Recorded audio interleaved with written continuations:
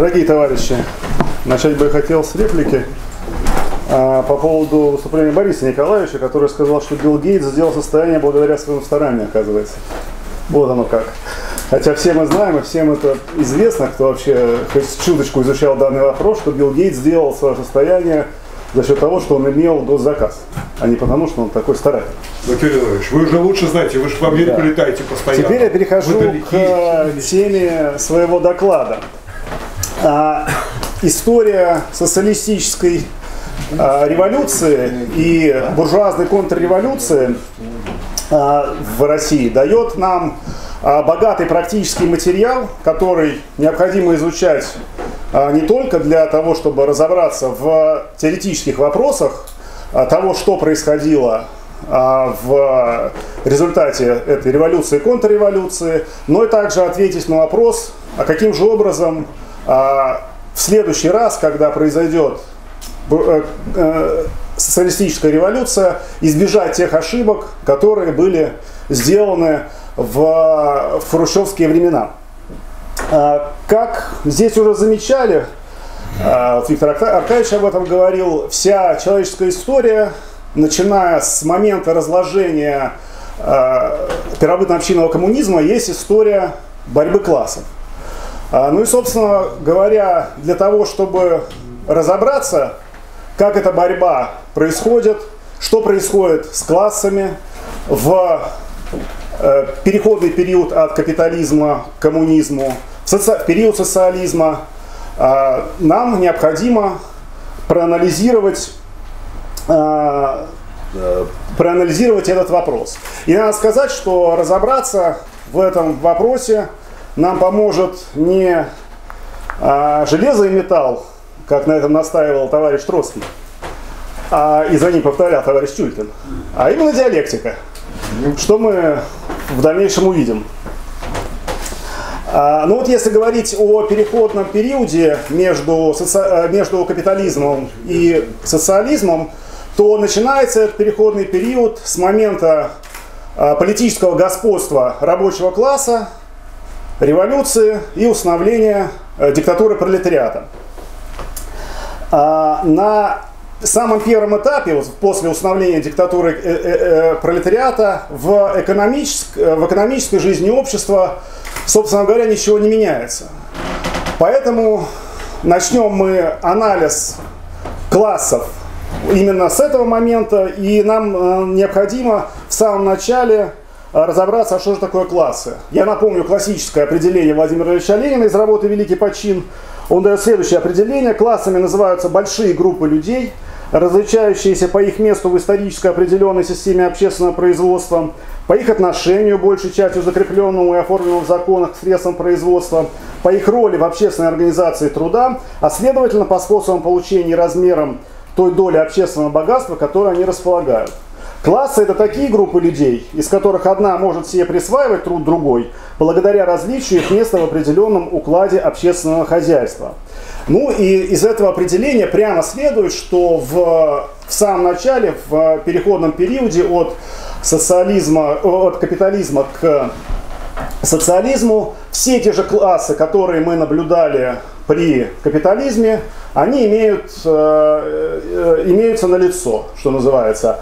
Э, имеется класс капиталистов, то есть владельцев, собственников, э, владельцев средств производства, есть класс рабочих, которые продают свою рабочую силу, и есть класс э, мелких хозяйщиков, работающих на рынок, то есть, э, мелкие буржуа.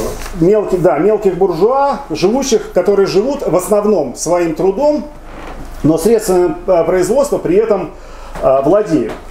Экономическое содержание переходного периода есть борьба различных укладов, которые имеют место при капитализме еще, и нового э, становящегося социалистического уклада. Если мы говорим о револю... о переходном периоде, который шел с э, революции 17 года э, до, середины, до, становления, до установления социализма в Советском Союзе, то там, как мы помним, э, согласно Владимиру Ильичу, была борьба пяти укладов. Это патриархальный уклад, мелкобуржуазный уклад, частно-капиталистический уклад, государственный капитализм и социалистический уклад. Вот эти пять укладов боролись. Надо сказать, что, видимо, с совершением в будущем социалистической революции будут бороться всего три уклада, потому что на сегодняшний момент э, в, при капитализме мы видим два уклада. Это мелкобуржуазный уклад и, э, собственно говоря, э, частно, частно-капиталистический уклад. Соответственно, эти уклады будут бороться с социалистическим укладом. И победа последнего, которая достигается в результате, безусловно, ожесточенной классовой борьбы, означает, э, что решающие средства производства были не только национализированы, но они были еще подчинены социалистическому плану, и они обеспечивают цель социалистического производства, всеобщее благосостояние и свободное всестороннее развитие всех членов общества. И именно эту мысль а, выражает Владимир Ильич Ленин, указывая, что социализм есть не что иное, как государство, государственная капиталистическая монополия, обращенная на пользу всего народу и постольку переставшая быть капиталистической монополией. Итак, а, после окончания переходного периода решающие средства производства обобществлены, они работают в соответствии с планом, причем этот план направлен на цель, на обеспечение цели э, социалистического производства. Соответственно, меняется положение рабочих в исторически определенной системе общественного производства. И меняется их отношение к средствам производства, потому что обобщение идет в форме э, государственной собственности, а государство является государством диктатуры пролетариата. Э, соответственно, при, установ... при установлении социализма, как первой фазы коммунизма, а, мы и имеем, а, мы видим, что отсутствуют а, антагонистические классы, которые были налицо при капитализме, и которые и также были в переходный период, но при социализме эти классы уже исчезли. И это положение соответствует тому, что коммунизм, соответственно и социализм, есть бесклассовое общество. К такому же выводу приходит Владимир Ильич Ленин в работе «Государство и революция». Когда он рассматривает первую фазу коммунистического общества, он пишет, государство отмирает, поскольку капиталистов уже нет, классов уже нет. Подавлять поэтому какой бы там ни было класс нельзя. Но государство еще не отмерло совсем, ибо остается охрана буржуазного права, освещающего фактическое неравенство. Для полного отмирания государства нужен полный коммунизм. Итак, мы разобрались, что классов при социализме нет. Но уничтожены ли все классовые различия?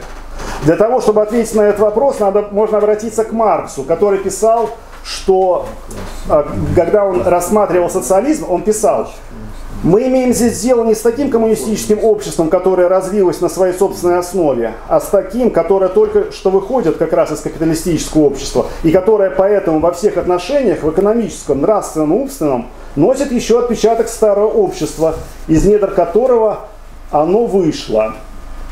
А, и Владимир Ильич Ленин, а, анализируя а, распределение при социализме, когда он говорит о формуле каждому по труду, он говорит следующее, что справедливости и равенства, следовательно, первая фаза коммунизма дать еще не может – Различия в богатстве останутся, и различия несправедливые. Но невозможно будет эксплуатация человека человеком, ибо нельзя захватить средства производства, фабрики, машины, землю и прочее в частную собственность. И мы здесь видим, что здесь прямо указано на то, что классовые различия, связанные со способом получения и размером доли общественного богатства, которым располагают разные группы людей, при социализме еще остаются. И также остаются различия между городом и деревней, между людьми физического и умственного труда. И все это, все это говорит нам о том, что классы при социализме уничтожены не полностью. И таким образом формально мы приходим к противоречию, которое в рамках формальной логики разрешено быть э, не может. И как раз для выражения этого противоречия, для его исследования, нам необходимо воспользоваться э, диалектико-материалистическим подходом. А, социализм это не просто а, коммунизм с элементами или остатками капитализма, но это коммунизм не открепший, не развившийся настолько, чтобы освободиться от отпечатков э, капитализма. Следовательно, социализм есть коммунизм не с внешним отрицанием, то есть он отрицается не чем-то внешним, а отрицание коммунизма есть в нем самом. А, и диалектически мы можем выразить это следующим образом, что имеет место противоречие, одним из моментов этого противоречия является коммунизм, и он выступает как целое э, в этом противоречии, а другой момент – это отрицание коммунизма в нем самом. И этот э, момент выступает лишь как момент. Он не является целым. Он не определяет целое. И момент отрицания коммунизма в первой фазе есть в каждом экономическом отношении. А так как деление на классы есть деление экономическое, следовательно, можно прийти к выводу о наличии отрицания бесклассовой природы социализма в нем самом. Это отрицание есть остатки классовых различий. Ну и вот для того, чтобы Э, социализм развился на своей собственной основе в полный коммунизм, необходимо вести борьбу за уничтожение всяких классовых различий. И борьба это есть борьба классовая. То есть получается, что мы имеем бесклассовое общество, э, в котором классы полностью не уничтожены, и в нем нужно вести классовую борьбу. Вот это такая диалектическая постановка вопроса многих вводит э, в замешательство. Но классовая борьба ведется здесь не между антагонистическими классами, а, а она ведется рабочим классом за утверждение своих классовых интересов, связанных с уничтожением классов. Вот можно это выразить следующим образом. И Ленин э, в связи с этим и отмечает, э, что диктатура пролетариата есть тоже период классовой борьбы которая неизбежна, пока не уничтожены классы, и которая меняет свои формы, становясь первое время после свержения капитала особенно ожесточенной и особенно своеобразной. Завоевав политическую власть, пролетариат не прекращает классовой борьбы, а продолжает ее впредь до уничтожения классов. Но, разумеется, в иной обстановке, в иной форме, иными средствами. Ну и надо сказать, что преодоление классовых различий связано по большей частью с уменьшением рабочего и увеличением свободного времени рабочего класса и всех трудящихся. То есть увеличением времени для свободного всестороннего развития. И Ленин абсолютно точно замечает по этому поводу следующее.